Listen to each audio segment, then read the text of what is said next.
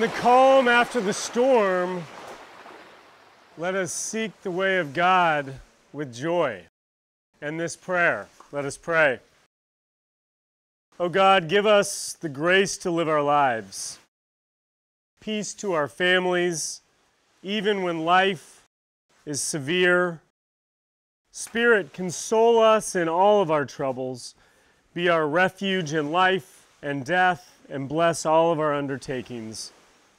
May we find in your heart the source of an infinite ocean of mercy, and in this mercy, may our tepid souls become fervent, and our fervent souls, may they rise to your great perfection. Amen.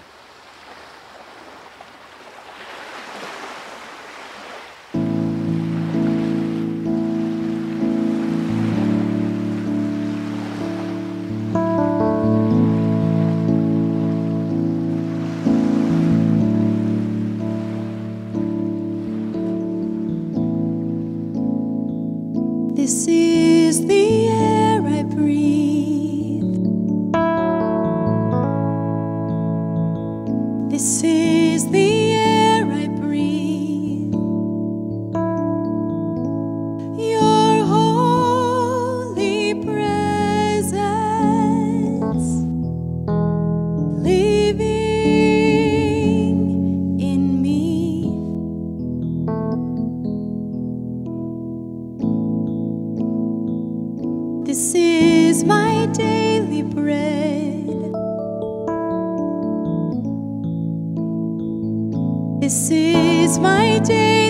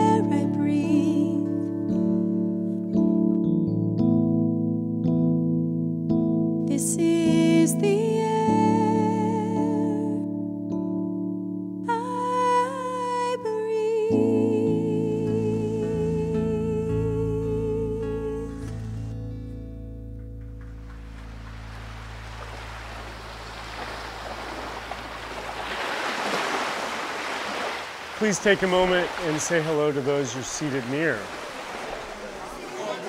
Marina, good morning. Good to see you.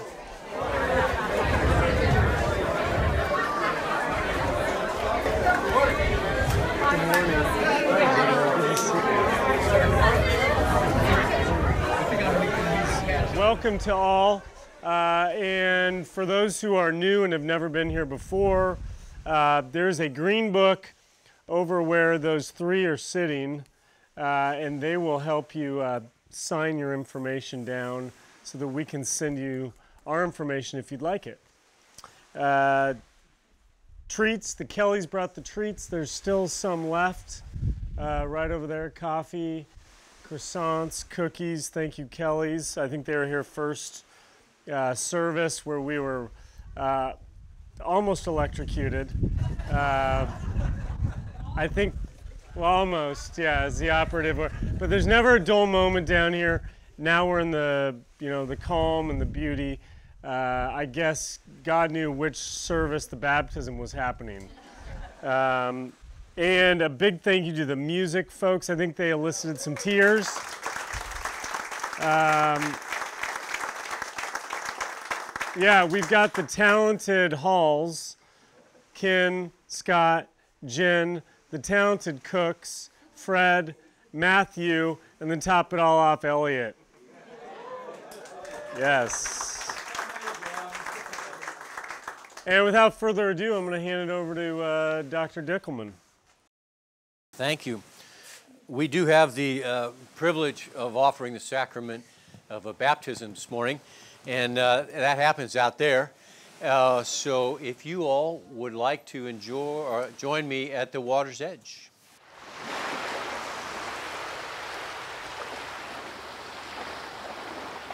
Friends, today we have the privilege of offering the sacrament of baptism to the child of Matt and Nicole Anderson, and the godparents are Kat and Jared Davis.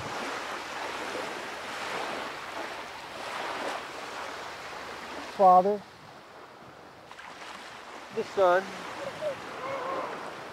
and of the Holy Spirit. And may the blessings of Almighty God, Father, Son, and Holy Spirit be with us all this day and forever. Amen. This is a very big baptismal font. There you go, buddy.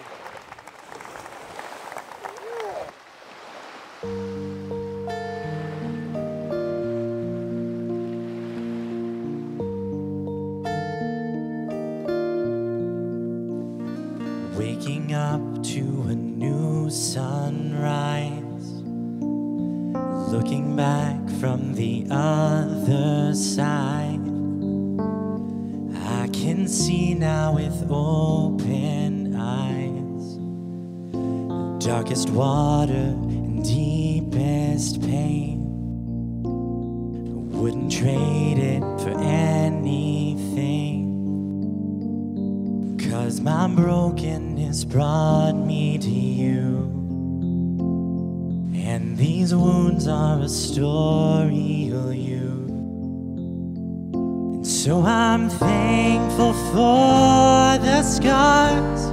Cause without them I wouldn't know your heart. And I know they'll always tell of who you are. So forever I am thankful for the scars. Now I'm standing in confidence with the strength of your faithfulness. And I'm not who I was before. No, I don't have to fear anymore. So I'm thankful for the scars, cause without them I know they'll always tell of who you are. So forever I am thankful for the scars.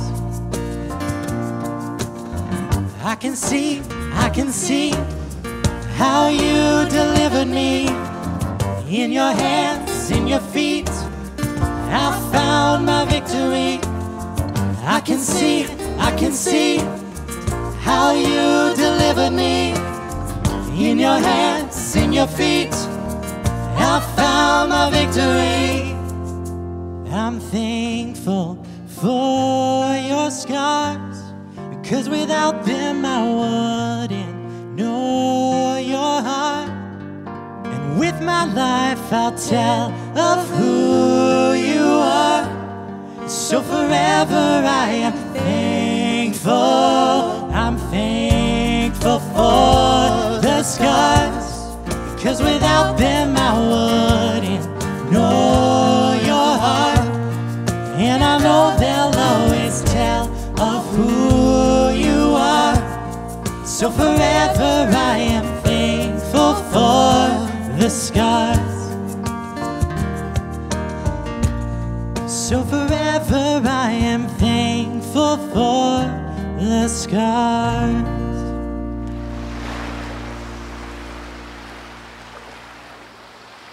Scripture lesson comes from 1 Corinthians chapter 12.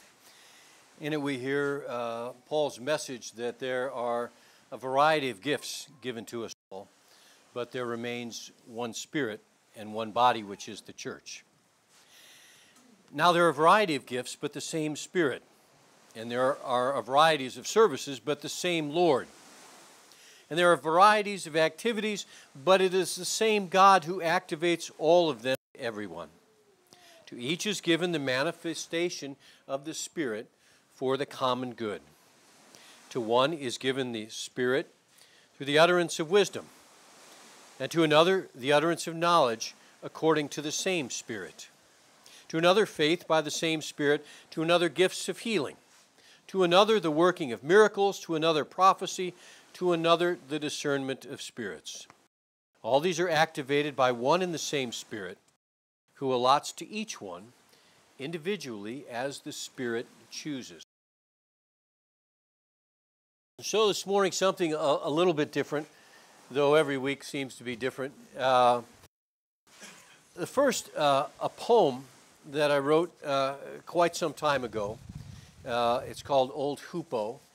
And uh, Old Hoopoe uh, is intended to provide uh, uh, a challenge and probably will provide a challenge for a few of you.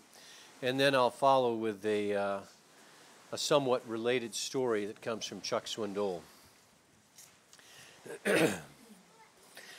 Old Hoopoe was quite different. Some even thought him wild, for his consuming, consuming passion was money, even as a child.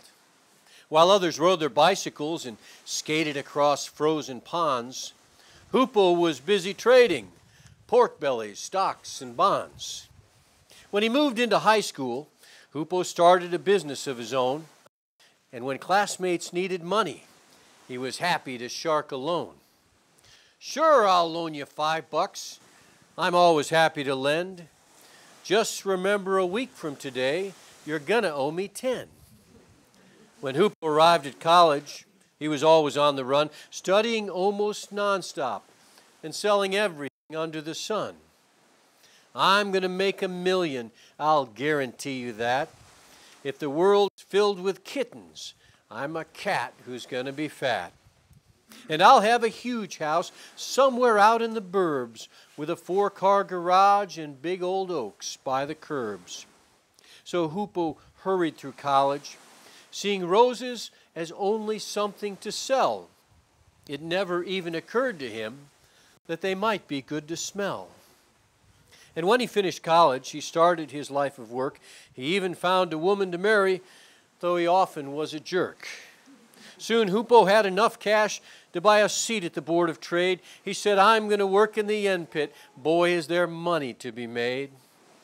And he worked and he worked and he collected a lot of stuff.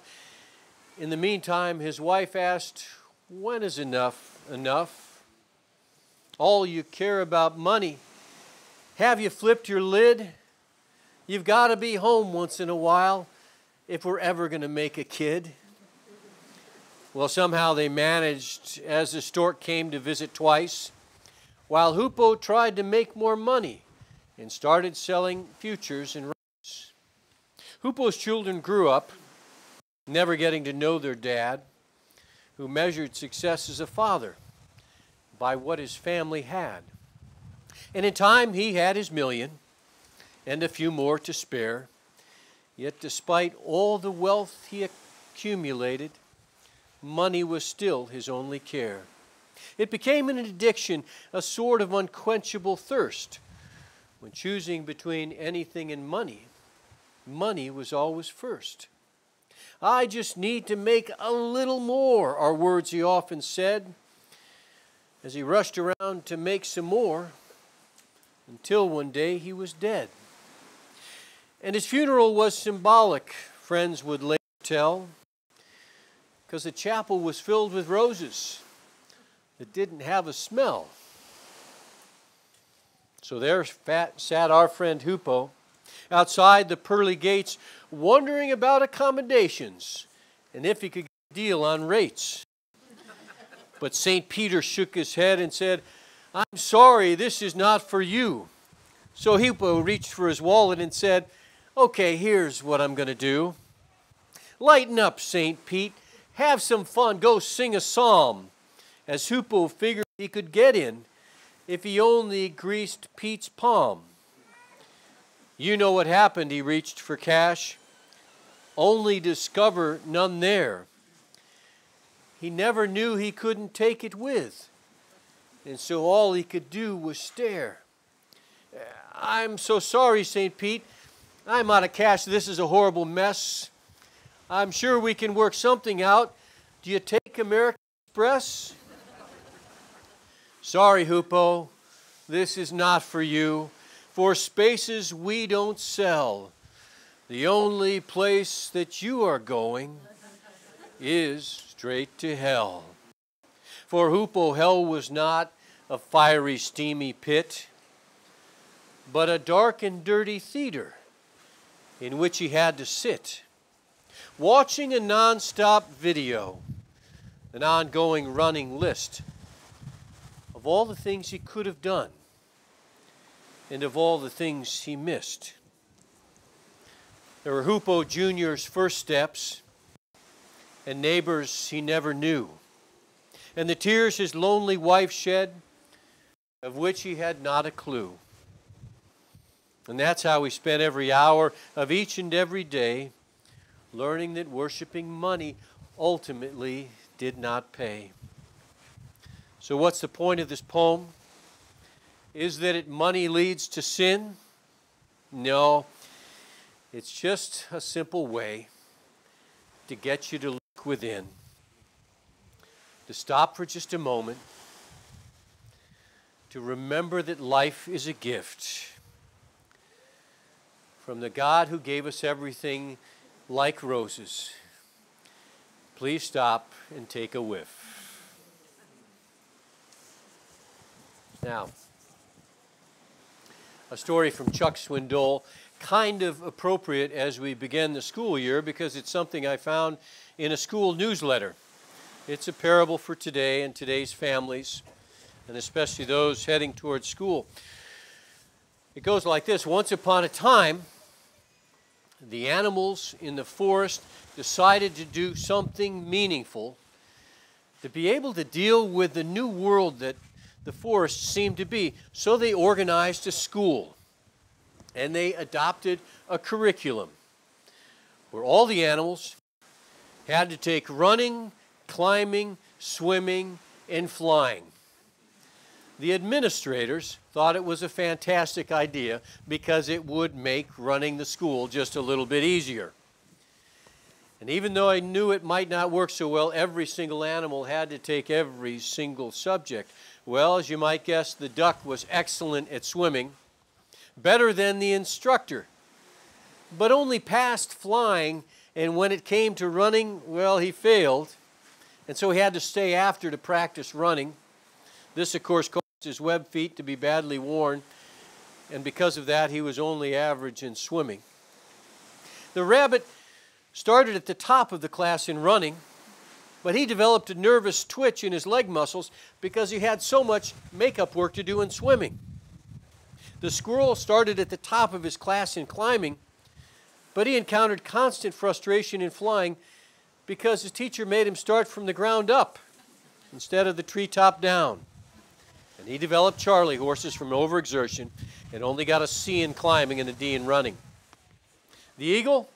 Well, the eagle was always a problem child and was severely disciplined for being a nonconformist. In climbing classes, he beat all the others to the top of the tree, but he always insisted on doing it his own way.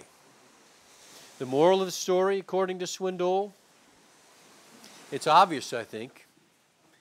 Each and every creature on this planet, each and every human being on this planet, their own set of capabilities, their own gifts, which we will naturally excel. Unless it is, we are forced into a mold, maybe by our families, maybe by our friends, maybe by our culture. It tries to make us something other than who we are, like a square peg in a round hole. What happens? And some of you have been there, whether it's in work or elsewhere. What happens when you're a square peg in a round hole? You become frustrated, anxious, discouraged, and you probably do a really bad job. A duck is built to swim and fly a little bit, not to run. A squirrel is designed to climb, not to swim. A rabbit, let him run, not swim. An eagle can soar like no other but don't make him try to run.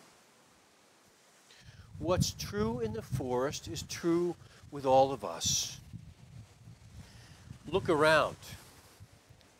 God absolutely did not make us all the same in any way, shape, or form.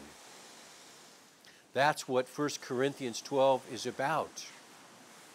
We all belong to the same family, whether it's a church or whether it's the human family. But the wonderful thing is we are incredibly different. And that's the question. That's the question for today. Something to chew on on this gray day. Given who you are, given the gifts and abilities with which you have been blessed, what can you do with your life It's going to put a smile on God's face? Now, I hesitate to say anything about tennis with Rod Workman here, who has devoted his life to racket sports. But my understanding, Rod, is there was a point in time 30 years ago and beyond when if you wanted to have a good serve in tennis, there were basically a few things that say that said everybody had to do. You know, and they tried to fit everybody into the same mold. And then there came a school of thought that said, well, you know what? Maybe making everybody hit the serve the same way is not such a good idea. And the whole art of coaching changed. And so you, as a, a tennis pro, had to look at how a body is made and understand someone's age and how they move it's, and how flexible they are, and every, everything else under the sun. There's not just one way to hit a tennis ball, right? Could I be an assistant pro? No? No? Probably. All right, well, let me, let me take a leap then to a world I know as little about, which is the world of golf. Okay? So, true story my mom loved golf. She's in her middle 60s, but she was getting to the place like her son where her, handicap was reaching the maximum. And she was really bummed out because she used to be pretty good.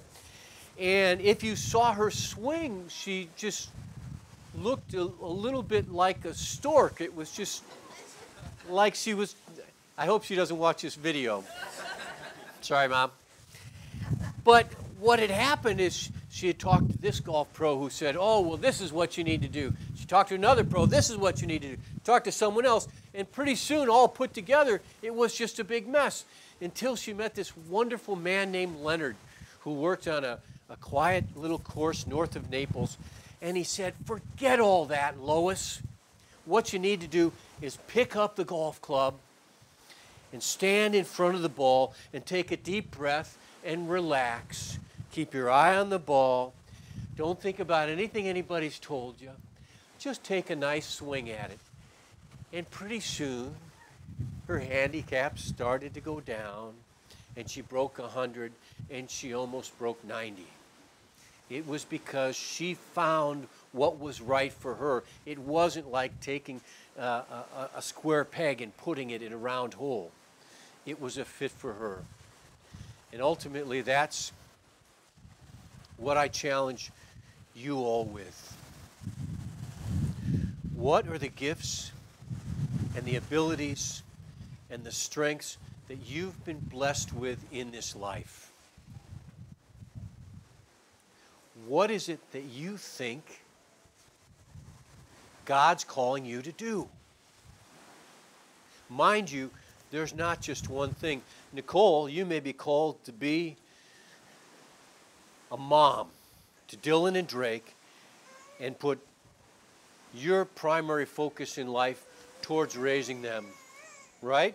That was an amen from your youngest son. you know? Or it might be being a breadwinner and paying for your family's life. Or you may be retired and, and have the wonderful privilege of saying, all right, I've accumulated this wisdom during the course of my life. Now, what is it I can do for my sisters and brothers in a world in need? It's a really challenging question, but it might be the most wonderful question with which you and I ever grapple. Why are we here? Why is it God blessed us with the gift of life? Amen. Friends, we are going to take a moment to, uh, speaking of being blessed, uh, to hear the uh, Hall and Koch and Delman family singers uh, sing one more song. Please know that we are grateful for your support.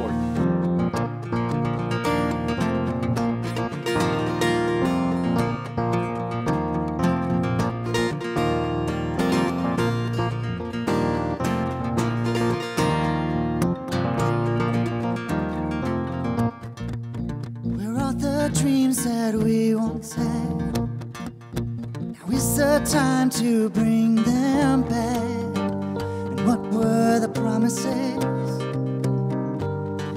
Caught on the tips of our tongues.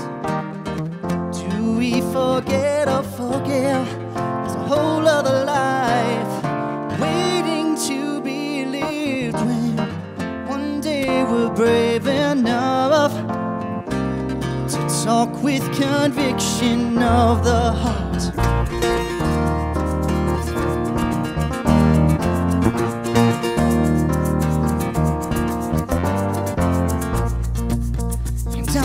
Streets I've walked alone.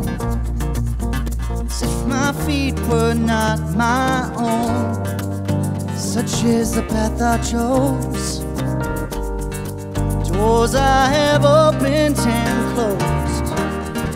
Tired of living this life. Fooling myself Leaving we're right when I've never given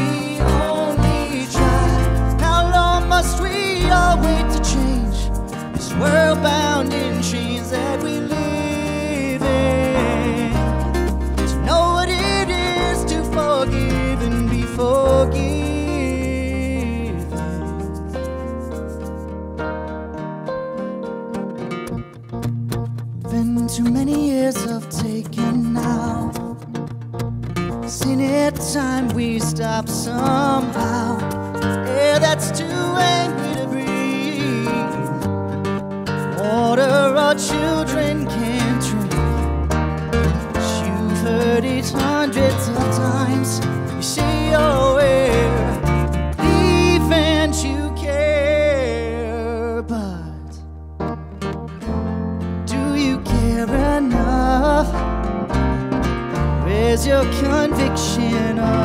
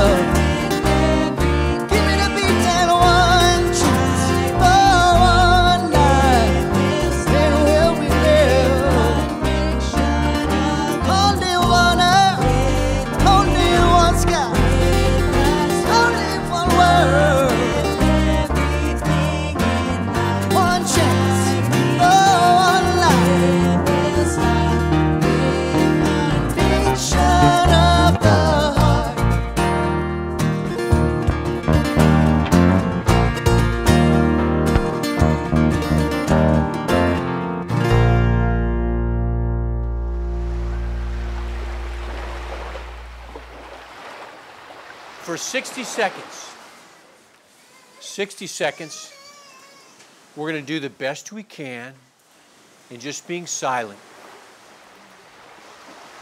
Think about, as you listen to the waves and the trees, what life God is calling to you to live at this point in your journey.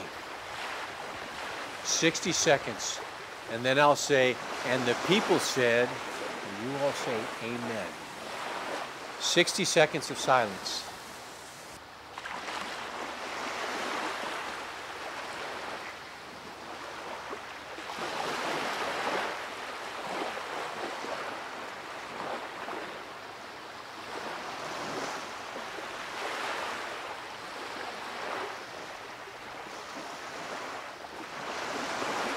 The people said, Amen.